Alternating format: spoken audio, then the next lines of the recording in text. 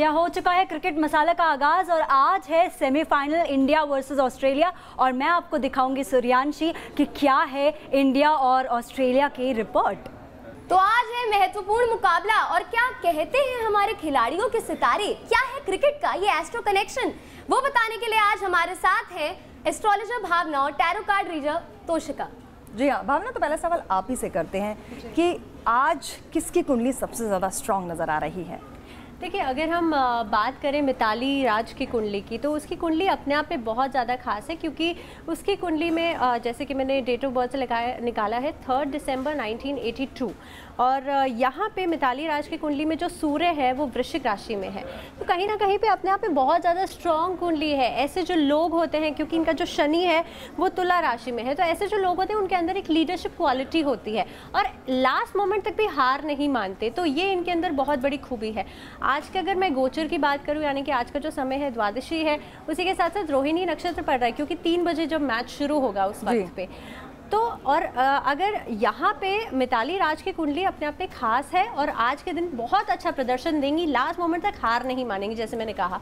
अपनी पूरी टीम को एक तरह एक तरह से उनका, उनको लीडरशिप क्वालिटी जैसे मैंने कहा तो उनका नेतृत्व करती हुई चलेंगी। दूसरी तरफ़ यहाँ पे लेनिंग की कुंडली, जो कि ऑस्ट्रेलिया टीम की कैप्टन है, उनकी कुंडली की अगर बात करी जाए तो उनकी कुंडली में भी उनकी कुंडली में थोड़ा सा मुझे यहाँ पे दिक्कत लग रही है क्योंकि आज के दिन में अपना 15 से 20 मिनट तक का जो उनका कॉन्फिडेंस लेवल है मैं कहूँगी वो थोड़ा सा डाउन जाएगा। जी अपने दर्शकों को भी बता दें कि ये जो कुंडली आप देख रहे हैं वो चंद्र लगन के हिसाब से ग्रह के हिसाब से चंद्र लग्न के हिसाब से है इसमें लग्न जो है हम नहीं देख रहे हैं। और दूसरी चीज़ है यहाँ पे अगर मैं लेनिंग की कुंडली की बात करूँ उनका जो डेट ऑफ़ बर्थ मैंने लिया है ट्वेंटी ऑफ़ मार्च नाइनटीन और इनके कुंडली में मंगल जो है इनका बहुत ज़्यादा बलवान है। चंद्रमा की अगर मैं बात करूँ तो चंद्रमा इनकी कुंडली में अस्त है। चंद्रमा की स्थिति अगर मैं मिथाली राज की कुंडली की बात करूँ चंद्रमा की स्थिति उसमें भी बहुत ज़्यादा खास नहीं है। तो आज के अगर गोचर के हिसाब से देखा जाए मैच की स्थिति में देखूँ तो मुझे ऐसा लगता है दोनों ही टीमों में टक्कर का मुकाबला रहेगा। जी हाँ दोनों ही कड़ी टक्कर कहीं ना कहीं जो भारत है अच्छा जो टीम है वो देने वाली है। बिल्कुल। दोनों ही टीम्स के बीच ये तो बात हो गई कुंडली की लेकिन तोशिका अगर आपसे पूछे टैरो कार्ड्स क्या कहते हैं आज के मैच के बारे में? जी बिल्कुल। अगर मैं आज के मैच की बात करूँ तो मैं ये बोलूँगी कि जो अगर मिताली राज की बात करूँ, बहुत ही ज़्यादा कंस्ट्रक्टिव खिलाड़ी हैं। बहुत ज़्यादा प्रोएक्टिव हैं, चीज़ों को बहुत बैलेंस्ड और प्लानिंग से चीज़ों को चलती हैं। अभी तक का अगर हम उनका परफॉर्मेंस देखें तो काफ़ी ज़्यादा इम्प्रूव किया है और उनकी टीम जो है, वो स्टेबिलिटी की वजह से बहुत ज़्यादा जानी जाती है। नो no डाउट उनके स्टार्स और अगर मैं न्यूमरोलॉजी भी लूँ तो पर्सनल ईयर मिताली राज का सिक्स चल रहा है, जो अपने आप में ही वीनस का नंबर है। नेम फेम के साथ साथ ये आपको कंस्ट्रक्टिव अप्रोच भी दिलाता है। तो आई थिंक इनके लिए बहुत अच्छा रहेगा। दूसरी तरफ़ अगर मैं ऑस्ट्रेलियन कैप्टन की बात करूँ लेनिन की बात करूँ तो कहीं ना कहीं मुझे लगता है कि आज वो थोड़ी सी डिप्लोमेटिक रहेंगी थोड़ी सी कंफ्यूज रहेंगी अपनी चीज़ों को लेके एंड हो सकता है थोड़े ओवर कॉन्फिडेंस में भी रहें। जी तोशिका आपको आप आपको ये लगता है कि कहीं ना कहीं जैसे 11 में से 9 मैच ऑस्ट्रेलिया ने जीते हैं वर्ल्ड कप की अगर हम बात करें और जो टीम इंडिया है उसने दो मैच जीते हैं तो क्या उसका भी असर कहीं ना कहीं टैरो कार्ड पर पड़ता है या टैरो कार्ड आपके कुछ बता सकते हैं कि पीछे अगर टीम स्ट्रांग है तो अब की बार हमारी टीम भी उनको कड़ी टक्कर दे पाएगी क्या? कड़ी टक्कर ज़रूर देने वाली है हमारी टीम अगर मैं क्लियरली बताऊँ यहाँ पे नाइन ऑफ़ पेंटिकल्स का कार्ड आया। है नाइन ऑफ़ पेंटिकल्स का कार्ड ये दिखाता है कि जो भी पर्सन है बहुत सुलझा हुआ है, बहुत ही अच्छी अप्रोच के साथ आगे बढ़ रहा है कॉन्फिडेंस है लेकिन ओवर कॉन्फिडेंस नहीं है। तो मैं यही चीज़ बोलूँगी कि ऑस्ट्रेलियन टीम को इंडिया को कम नहीं समझना चाहिए। इंडिया बहुत अच्छे से आज परफॉर्म करने वाला है। वैसे भी थ्री और अगर हम देखें आज कॉम्बिनेशन तो वन और टू का कॉम्बिनेशन है। That means sun and moon और अगर हम नक्षत्र की बात करें तो अभी पुष्य नक्षत्र चल रहा है जो सूर्य का है। और जब मैच स्टार्ट होगा तब रोहिणी यानी चंद्रमा का नक्षत्र होगा।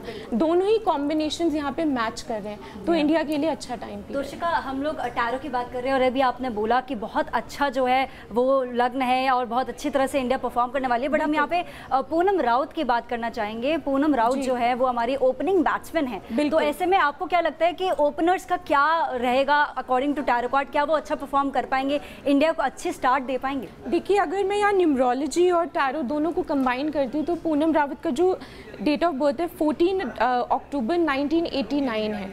और उनका जो कॉम्बिनेशन बनता है और जो पर्सनल ईयर चल रहा है, वो सेवन चल रहा है। मैं इतना बोलूँगी कि थोड़ी सी लैक ऑफ़ कॉन्फिडेंस होगा उनमें। हो सकता है कि स्टार्टिंग जो ओपनिंग बैट्समैन है इंडिया की वो अच्छा परफॉर्म ना करे।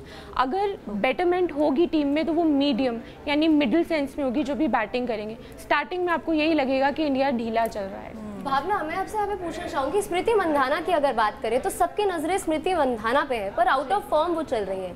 तो उनके क्या सितारे कह रहे हैं? इस बार क्या वो टीम इंडिया को जीत दिलाने में कामयाब रहेंगी? देखिए स्मृति मंधारा की जहाँ तक बात है 18 जुलाई 1996 है इनका डेट ऑफ़ बर्थ और जहाँ तक इनका समय की बात करूँ मैं तो इनके लिए कहीं ना कहीं पे आ, मैं ये कहूँगी कि एफ़र्ट ये बहुत ज़्यादा डाल रही हैं लेकिन उतने ज़्यादा इनको रिजल्ट्स नहीं मिल रहे। ये इनका जो टाइम पीरियड है वो ये कह रहा है इनकी कुंडली के हिसाब से। तो आज के दिन में भी मुझे यही लगता है कि कहीं ना कहीं पर मिथाली राज इनके ऊपर डिपेंडेंट है और ये भी अपना पूरा तरह से अपना एफर्ट डालेंगे अपना इनपुट 100 परसेंट देंगी। लेकिन मुझे ऐसा लगता है कि आज के दिन में उतना अच्छा ये नहीं दिखा पाए। तो समय खराब चल रहा है उनका थोड़ा सा कहीं ना कहीं पे सितारे जो है इनका साथ नहीं दे रहे लेकिन भावना आपको क्या लगता है कि आज जो टीम इंडिया है उसमें की प्लेयर कौन हो सकता है? कौन गेम को उलटफेर कर सकता है? कौन टीम इंडिया को जीत दिला सकता है? Uh, मुझे आज के दिन में लगता है कि कहीं ना कहीं पे uh, जो मिताली राज हैं अपने आप में कैप्टनसी बहुत अच्छी निभाती हैं वो। तो uh, यहाँ पे अगर इनके मैं कहूँ झूलन गोस्वामी जो है आज कहीं ना कहीं पे अपना प्रदर्शन बहुत अच्छा देने वाली हैं क्योंकि इनके लिए ये ये कहेंगे कि एक तरह से सपोर्टिव सारी चीज़ें हैं। तो मुझे ऐसा लगता है कि झूलन जो है आज थोड़ा सा अच्छा प्रदर्शन एकता बिस्ट के बारे में क्या बोलेंगे एकता बिस्ट का टाइम भी कमाल अच्छा का तो वो भी खेल लेकिन मैं ये समझूँगी कि आज सेकेंड इनिंग्स जो रहेंगी उसमें अचानक से उनका जो प्रदर्शन है वो बहुत कमाल का रहेगा। लेकिन फ़र्स्ट इनिंग में थोड़ा सा स्टार्टअप देने में उनको थोड़ा वक्त लगेगा। जी हाँ तो आज बहुत ही अहम मुकाबला Australia versus team India women's world cup का ये मुकाबला है और डर्बी के मैदान में हमेशा ही स्पिनर कमाल करते हैं। बिल्कुल स्पिनर्स ने कमाल किया है और इस सीरीज़ की अगर बात करें वर्ल्ड कप की अगर बात करें तो अगर एकता बिष्ट के बारे में पूछूँ तोशिका आपसे आज का टैरो कार्ड क्या कुछ कह रहा है? उनके बारे में अब तक बेहतरीन परफॉर्म करती आई हैं इकोनॉमी रेट उनका काफ़ी बेहतरीन रहा है इस पूरे टूर्नामेंट के दौरान। आज क्या कुछ कमाल करेंगे? कि मिताली राज बहुत ज़्यादा एक्सपेक्टेशंस लगा के बैठी है एकता बिष्ट से। वो भी बहुत ज़्यादा ट्राई कर रही हैं बहुत हार्डवर्क पुट करेंगी। लेकिन क्योंकि उनका कॉम्बिनेशन डेस्टिनी और बेसिक नंबर सेवन और एट का है और पर्सनल उनका टू चल रहा है इतना ज़्यादा अच्छा परफॉर्म नहीं करेंगी जितना ज़्यादा इंडिया उन पर डिपेंड हो रहा है। मैं ये चीज़ ज़रूर बोलूँगी कि थोड़ा सा घबरा जाएँगी या उनकी छोटी सी मिस्टेक की वजह से पॉसिबिलिटी हो सकती है कि टीम इंडिया को भावना आप क्या कहेंगे? अंग शास्त्र क्या बोलते हैं? एकता बिस्ट क्या कमाल कर पाएँगे आज उनके देखिए एकता बिस्ट की अगर हम बात करें यहाँ पे तो उनके कहीं ना कहीं पे मुझे ऐसा लगता है कि आज के दिन में सपोर्टिव जो बाकी टीम की तरफ़ से सपोर्ट मिलनी चाहिए। वो उनको नहीं मिल पाएगी। अपनी तरफ़ से प्रदर्शन अच्छा करने की कोशिश करेंगी लेकिन जैसे कि तोशिका ने भी कहा कि कहीं ना कहीं पे मिताली राज जो है वो उन पर डिपेंडेंट हो रही हैं। लेकिन इनको सपोर्ट कितनी मिलती है ये बहुत बड़ा बहुत बड़ा चैलेंज है इनके लिए। तो कहीं ना कहीं पे सेकेंड इनिंग्स में थोड़ा थोड़ा इनका प्रदर्शन जो है बेटर रहेगा लेकिन फ़र्स्ट इनिंग्स में मैं कहूँगी सपोर्टिव नहीं रहेंगे। भावना मैं आपसे पूछना चाहूँगी वेदा कृष्णमूर्ति की अगर हम बात करें लास्ट मैच में हीरो बन के सामने आई थी। फोर्टी बॉलों पे साठ रन बनाए थे। जी। इस बार आपको लग रहा है की प्लेयर हो सकते हैं वो?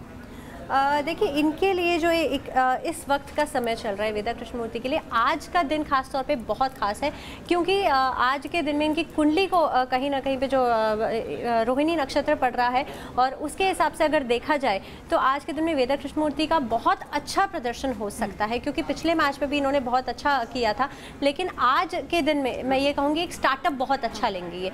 और उसके बाद, कहीं ना कहीं पर ऑस्ट्रेलियन प्लेयर्स भी भारी पड़ेंगे आज, क्योंकि उनके लिए भी जो लेनिंग की कुंडली है वो भी बहुत अपने आप में खास है बहुत ही ज़्यादा स्ट्रॉन्ग है। और आज के दिन में उनको उस चीज़ का फ़ायदा उठाना है क्योंकि लेनिंग की कुंडली में यहाँ पे एक चीज़ है मैं कहूँगी कि पंद्रह से बीस मिनट के लिए मैंने स्टार्ट में भी कहा था कि थोड़ा सा कन्फ्यूज़न का टाइमिंग आएगा उनके लिए जिसमें कि डिसीज़न लेना बहुत ज़्यादा ज़रूरी है। इस टाइम के अंदर अंदर अगर आ, ये मैं कहूँगी चार बजे से पाँच बजे का जो समय रहेगा इस वक्त के अंदर अंदर अगर इंडियन प्लेयर्स वो बाजी मार जाते हैं तो उनकी जीत पक्की है। हाँ, और तो अगर ना कहीं उम्मीद है कि जीत पक्की अगर उस टाइमिंग के अंदर एक डिसीज़न मेकिंग अगर अच्छा तो नहीं डिसीज़न मेकिंग इस तो दौरान करना ज़रूरी है आज बहुत मैच में और पूरी टीम का सपोर्ट भी तमाम एक दूसरे प्लेयर के लिए भी इम्पोर्टेंट होगा। और भावना मैं आपसे बिल्कुल सटीक में जवाब जानना चाहूँगी कि भारत और ऑस्ट्रेलिया में से दोनों में से कौन सी टीम जो है वो ताज के करीब जाएगी? देखिए यहाँ पे भारत और ऑस्ट्रेलिया दोनों ही अपने आप में बहुत ज़्यादा उनकी कुंडली जो कहूँगी मिताली राज की और एम एम लैनिंग की बहुत ज़्यादा स्ट्रॉन्ग कुंडली है। आज की गोचर को दोनों ही एक तरह से सपोर्ट कर रहे हैं। चंद्र चंद्रमा जो है इनकी कुंडली में अस्त है जैसे मैंने पहले बताया था लेनिंग की कुंडली में। मिताली राज की कुंडली में भी चंद्रमा उतना अच्छा नहीं है। तो आज के गोचर की अगर बात करी जाए तो ऑस्ट्रेलिया आज हो सकता है बहुत अच्छा प्रदर्शन करे और कहीं ना कहीं पे जीत तक वो पहुँच सकती है। लेकिन जैसे मैंने पहले कहा था कि इंडियन तो टीम जो जीत तक पहुँच सकती है ये भावना का कहना है। कहने का ये है हमारे टेरो कार्ड्स क्या कह रहे हैं तोशिका? जी। बिल्कुल अगर मैं कार्ड्स देखूँ तो कार्ड्स बहुत क्लियरली डिफाइन करें। अगर इंडिया पहले बैटिंग करता है तो बहुत पॉसिबिलिटीज़ है इंडिया की जीतने की। फ़र्स्ट हाफ़ में कॉम्बिनेशन भी अगर मैं देखती हूँ उसका दोनों का तो फ़र्स्ट हाफ़ में मैं ये बोलूँगी पॉसिबिलिटीज़ है कि इंडिया बहुत ढीला परफॉर्म करेगा। उसके बाद एक अच्छी सी पिकअप लेगा और बहुत अच्छे से परफॉर्म करेगा। तो अगर आप मुझसे पूछें इन शॉर्ट के जीतेगा कौन तो मैं बोलूँगी कि इंडिया को बराबर की टक्कर देनी पड़ेगी ऑस्ट्रेलिया जी हाँ तो अब अहम मुकाबला है ऑस्ट्रेलिया वर्सेस टीम इंडिया और सबकी निगाहें इस अहम मुकाबले पर। क्रिकेट मसाला में बस इतना ही। वापस लौटेंगे ठीक तीन बजे।